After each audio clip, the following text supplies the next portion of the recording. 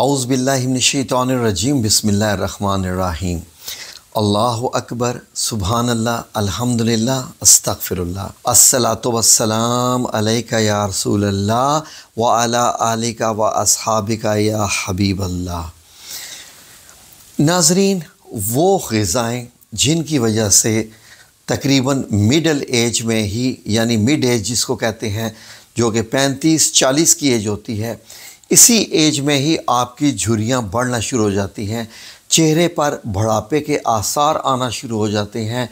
ये क्या वजह होती है अक्सर अवकात नाजरीन, बुढ़ापा ज़ाहिर है आता है और अपने साथ अपने साइंस भी लेके आता है। सबसे पहले चेहरे पे, हाथों पे, आपकी जल्द के ऊपर बुढ़ापे के आसार नमूदार होना शुरू हो जाते हैं।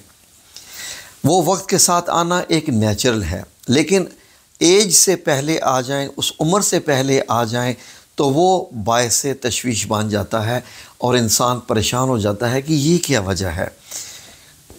वो पचास साल का है, उसके चेहरे पे इतने नहीं हैं।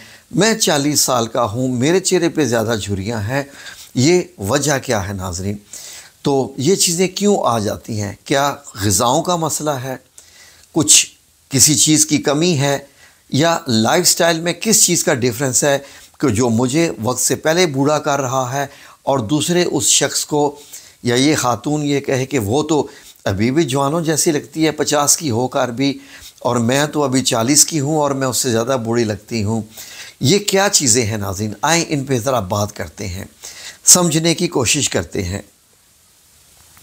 नाजरीन, गौर कीजिएगा, सबसे पहले आ जाते हैं आदात के ऊपर। जो चीज़ें आपको जल्द बूढ़ा कर देती हैं, यानी वो चीज़ें जो आपके चेहरे के ऊपर झुरियाँ लाने का बायस बनती हैं। वो नाजरीन, हमारा चेहरा अल्लाह रब्ज़त ने बड़ा ख़ूबसूरत तो बनाया है, लेकिन जो इसके ऐसे अल्लाह ने बनाया है कि हमारे चेहरे के तासुरात भी हैं। किसी शेर को, किसी कुत्ते को, बिल्ली को बहुत कम आप लोगों ने इमोशंस दिखाते हुए देखा होगा।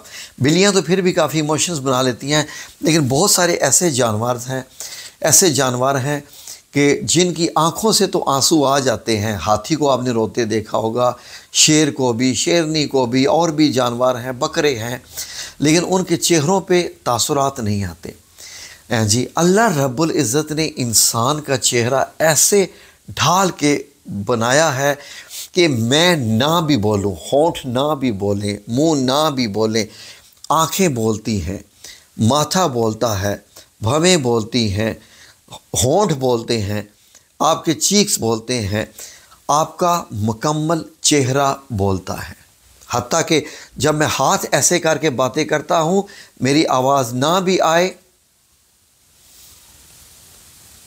आप समझ सकते हैं कि ये बंदा क्या कह रहा है? इसको भी साइंस लैंग्वेज कहते हैं। इसीलिए तो अल्लाह रब्बुल ने फरमाया, लक़द खलकनल इंसाना फ़ी एहसन तकवीम, कि बेशक हमने इंसान को बहुत बेहतरीन सांचे में ढालकर बनाया है। तो नाजरीन, हमारे चेहरे के ऊपर जो झुरियाँ आ जाती हैं, वो किस वजह से आ जाती हैं? गौर से सुनिए। गुस्सा कैसे पता चलता है कि किसी इंसान को गुस्सा आया हुआ हो चेहरे से? अगर मैं गुस्सा नहीं कर रहा, लेकिन मेरे चेहरे पे क्या तासुरात आएँगे तो आपको पता चलेगा कि मुझे गुस्सा है। जैसे कैसे गुस्सा करते हैं? यानी जब आपको गुस्सा आए, ऐसे गुस्सा करें तो माथे पे बाल पड़ते हैं। गुस्सा आने से इस चीज़ में भी बाल पड़ते हैं। यहाँ पर क्या होता है कि जो बंदा ज़्यादा गुस्सा करता रहता है, गुस्से के जो इमोशंस आते हैं, तस्वीर, इसीलिए मैं तस्वीरें आपको दिखा रहा हूँ कि ना कि मुझे ये एक्टिंग करनी पड़े। तस्वीरें दिखा रहा हूँ कि आप अंदाज़ा लगाइए कि गुस्से, अगर आप बराबर गुस्सा करते रहें, आप उस बंदे, उस खातून, उस मर्द को देखें कि उसके माथे के ये बाल वगैरह पक्के होना शुरू हो जाते हैं। क्यों? क्योंकि ये भी एक्सरसाइज हो रही होती है। चेहरे की भी एक्सरसाइज करना पड़ती है। अगर फॉर एग्ज़ाम्पल ये जो आपकी लाइन होती है, ये वाली जॉ लाइन या इसको क्या कहते हैं, ये भी गहरी होना शुरू हो जाती है, उसकी भी वजह यही होती है, गुस्सा करना तो यहाँ से ये फूलती है जगह। वरना यकीन करें कि ऐसे ये देखना, ये ऐसे करके ये बुढ़ापे के आसार हैं। अगर आप ये कंटिन्यूली गुस्सा भी कर रहे हैं, ये भी कर रहे हैं टेंशन में रहते हैं, या देख रहे हैं ये जो चीज़ पैदा हुई, ये टेंशन में जो रहते हैं, ये चीज़ें ये आपकी झुरियों को ज़्यादा करते हैं। ये तो होगी आपकी आदतें। अब आदतें आपको क्या अपनानी हैं? गुस्सा नहीं करना। क्या करना है? गुस्सा नहीं करना। गुस्सा करेंगे तो आपके चेहरा ही आपका ख़राब होगा, आपका खून ही जलेगा। इसीलिए गुस्सा नहीं करना, गुस्सा पी जाना है। कैसा? गुस्सा आए तो पानी पी लें। ठीक है जी, गुस्सा पी लेना होता है और उस पर बड़ा अजर भी है। आगे गौर से सुनिए, ये वाले तो हिस्से हो गए हमारे चेहरे के जो तासुरात वाले हैं। तो ये इन तासुरात वाले हिस्सों में ही क्यों पहले झुरियाँ आती हैं? इसीलिए आपको अपना लाइफस्टाइल चेंज करना पड़ेगा। और आपको क्या करना है? सबसे पहले द फ़र्स्ट थिंग जो आपको करनी है, चीनी का इनटेक कम कर दीजिए शुगर का, अपनी ज़िंदगी से। चीनी के इस्तेमाल से जिसम में वर्म, यानी कि जो जिसम के अंदर जो टूट फूट होती रहती है ना, चीनी के इस्तेमाल से वो ज़्यादा हो जाता है। तो वर्म ज़्यादा होता है तो जल्द हमारी हील नहीं कर पाती। जल्द फॉर एग्ज़ाम्पल देखें ना कि हील ना कर पाए तो वो फिर उसमें तो वर्म आता रहेगा तो वो तो फिर लगेगा कि वाकई इसमें झुरियाँ आना शुरू हो जाती हैं। क्योंकि चीनी के ज़्यादा इस्तेमाल से जो साइंटिस्ट हैं मेडिकल साइंटिस्ट वो कहते हैं कि जिसम के अंदर ग्लाइकेशन नामी एक मतहरक हो जाता है और ग्लाइकेशन के अमल के दौरान शुगर मालिक्यूल जल्द के जो लचकदार फाइबर फाइबर्स होते हैं, जो कोलिगन्स होते हैं, उनसे मुंसलिक होकर उनको कमज़ोर बना देते हैं। इस चीज़ की आपको समझ नहीं आएगी, ये मेडिकल की ज़बान में है। तो नाजरीन, उससे पहले ही, वक्त से पहले बुढ़ापा आ जाता है। इंसुलिन की मकदार भी बढ़ जाती है।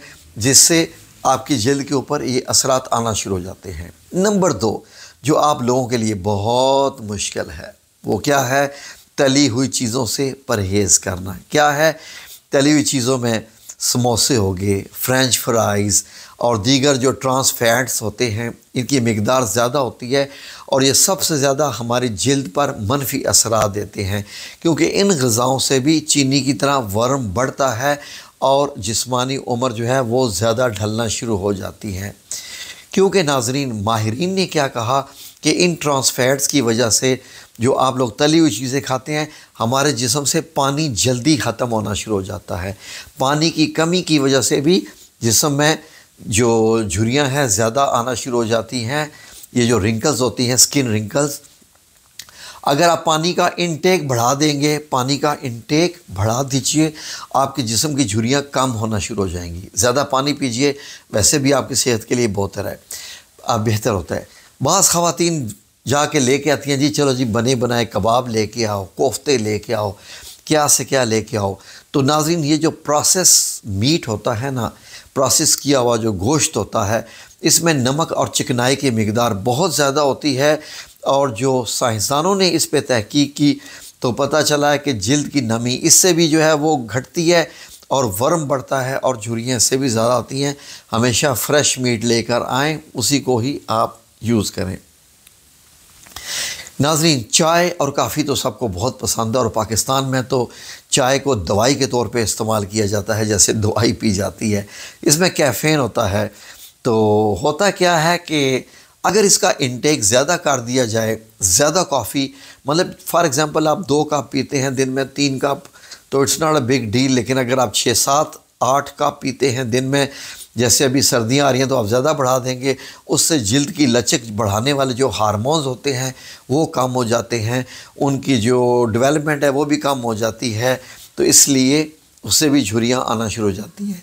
मर्द हजरात तम्बाकू नोशी ना करें, उससे भी जल्दी झुरियाँ आती हैं। वक्त से पहले ही बंदा बूढ़ा हो जाता है। पानी का कम इस्तेमाल आपके झुरियों को बहुत बढ़ाता है। इसलिए चाहे ना चाहे प्यास है, नहीं है, पानी का ज़्यादा इस्तेमाल करें। जितनी चीज़ तर रहेगी, उतनी ही बेहतर रहेगी। आप ख़ुद देख लीजिए, जब आप सब्ज़ी ख़रीदने के लिए जाते हैं तो सब्ज़ी वालों ने क्या किया होता है? उन्होंने सब्ज़ी को फ्रेश रखने के लिए ऊपर पानी का छिड़काव करते हैं। ज़्यादा से ज़्यादा तो वो फ्रेश रहती है। गोश्त वाली दुकान पे जाएँ, वो उस गोश्त को खुश्क नहीं होने देता, पानी से उसको गीला रखता है ताकि इसकी स्किन फ्रेश लगे और ये ख़राब ना हो। ये सारी छोटी सी मैंने एग्जांपल्स आपको दी ताकि आप इन चीज़ों को समझ सकें। अपनी सेहत का ख्याल रखिए। बाकी झुरियाँ ख़त्म करने के और बड़े तरीके हैं। आपको किसी और वीडियो में बताएँगे कि आप कैसे ऐसे एक्सरसाइज कर सकते हैं। हमें जो है, मुझे तो ज़रूरत नहीं है, इसीलिए मेरे ये आ गए हैं और एज भी माशाल्लाह मेरी 54 के करीब है। तो मुझे इस चीज़ की टेंशन नहीं है, वरना एक्सरसाइज करके ये भी ख़त्म हो सकती हैं। लेकिन नो नीड जी, अल्लाह रब्बुल इज़्ज़त जैसे बना दिया, ठीक है अलहमदिल्ला जजाकमुल्ला खैर, अल्लाह सब अल्लाह आप सब लोगों को अपनी हिफ्ज़ अमान में रखे और आपकी कामिल सेहत अता फ़रमाए और ईमान अता फ़रमाए। आमीन। या रब्बुल आलमीन। बेरहमतिका या अरहमुर्राहिमीन